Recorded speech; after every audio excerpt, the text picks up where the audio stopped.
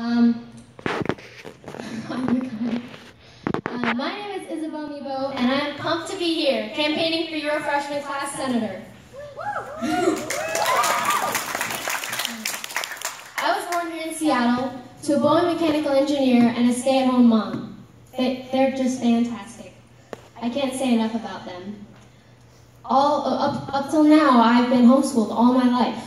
That gave me a lot of independent uh, experiences, and my mom helped out so much, and I believe that I have become a responsible, uh, dutiful young lady, and I believe I can be a very good senator.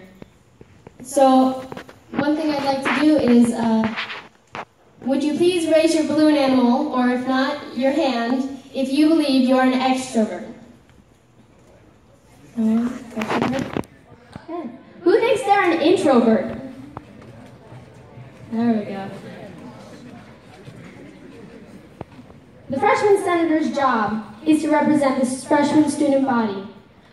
If you want to talk to someone with authority, someone with influence, you talk to the freshman senator. If you want to talk to me about getting a new microwave in the lunchroom, a pizza party for your class, anything you can think of, you come to me. I will spend time, I will talk with you, we will come to a conclusion that benefits you, your class, and the whole freshman student body. Everyone wants to have the school year with the best experiences possible. We can make that happen. Let's do this.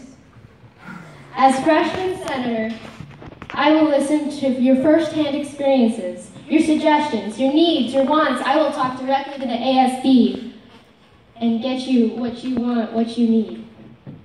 My name is Isabel Meboe. Thank you so much, and I'm really looking forward to being your freshman class senator. Woo!